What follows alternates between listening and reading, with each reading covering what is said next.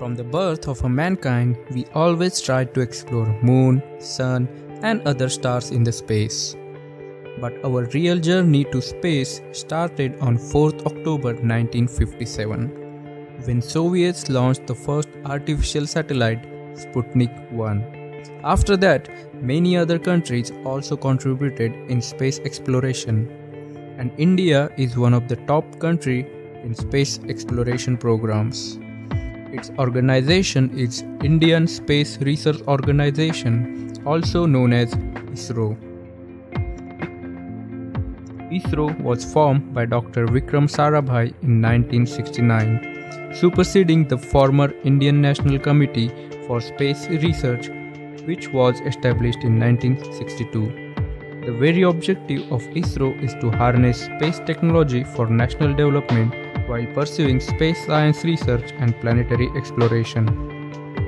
On April 1, 1975, ISRO became a government organization and is managed by the Department of Space which falls directly under the authority of Prime Minister and the Space Commission of Government of India.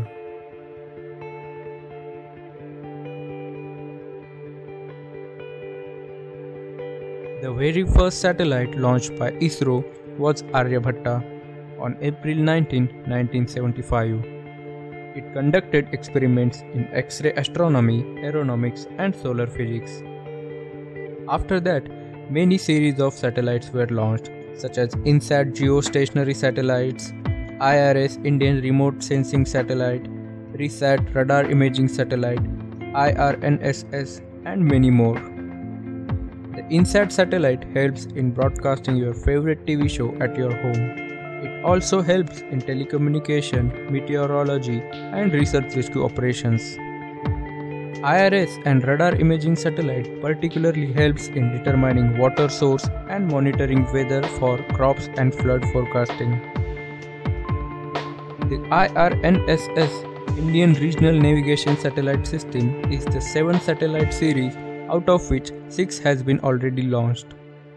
This satellite series will replace GPS technology in India and will be more accurate up to 10 to 20 meters. In order to put a satellite above the Earth's surface, we need efficient launching rockets. For this very own purpose, ISRO has a launch vehicle fleet program in which it develops the technology needed to launch satellites in outer space. The project was development of sounding rocket program which later transformed into satellite launch vehicle program.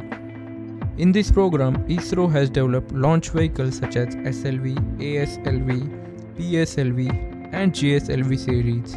PSLV Polar Satellite Launch Vehicle is used for delivering various satellites to low Earth orbits and is one of the world's most reliable launch vehicle. It is in service more than 20 years and has launched various satellites for historic missions like Chandrayaan-1, Mars Orbiter mission. PSLV is favored among various organizations as a launch service provider and has launched more than 40 satellites for 19 countries. In 2008, it created a record by placing 10 satellites into various lower Earth orbits in just one launch. The GSLV is specially designed to deliver communication satellite to the highly elliptical orbit. ISRO has developed two versions of GSLV. The main difference between GSLV series is that the second version has more capacity to lift off mass to lower Earth orbit than the first version. Apart from developing and launching geostationary satellites, ISRO is also doing extraterrestrial exploration missions such as Chandrayaan 1 and Mars Orbiter mission.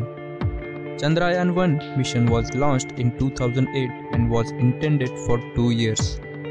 But due to some technical failure, it lasted only for 312 days. Even though it lasted for short time, but it has completed 95% of its mission objective.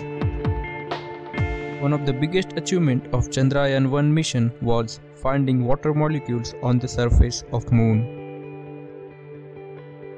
The biggest achievement of ISRO is the Mars Orbiter mission. launched in November 2013. It was India's first interplanetary mission, and ISRO has become the fourth space agency to reach Mars, after Soviet space program NASA and European Space Agency. Also, India became the first nation in the world to reach Mars in its first attempt.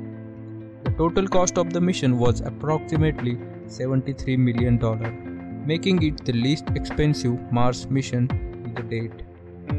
The mission costed less money because of lower worker costs, homegrown technology, simpler design, and significantly less complicated payloads.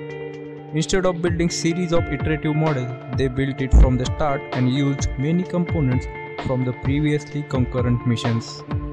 Also, instead of directly going to Mars, they used most of the gravity assistance to cover the distance to reach Mars using gravitational slingshot method. Even though Mars is 100 times farther than the moon, but it took the same amount of fuel needed to reach the moon. After the launch of Mars Orbiter mission, ISRO has received a huge amount of criticism, such as whether the country like India should do a space program when it has so much poverty. Even the countries with their own space program ignored the achievements of ISRO. But after the success of Mars Orbiter mission in 2014, those critics disappeared in thin air.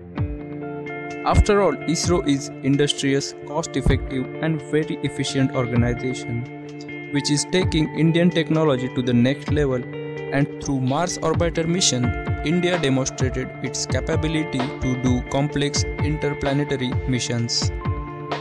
This have led to more confidence among other countries to trust ISRO with their space missions.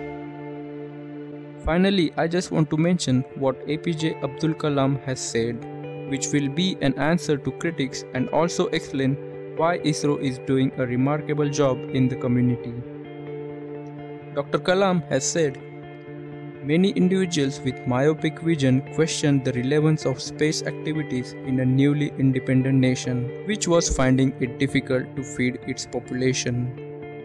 Their vision was clear if Indians were to play a meaningful role in the community of nations, they must be second to none in the application of advanced technologies to their real life problems.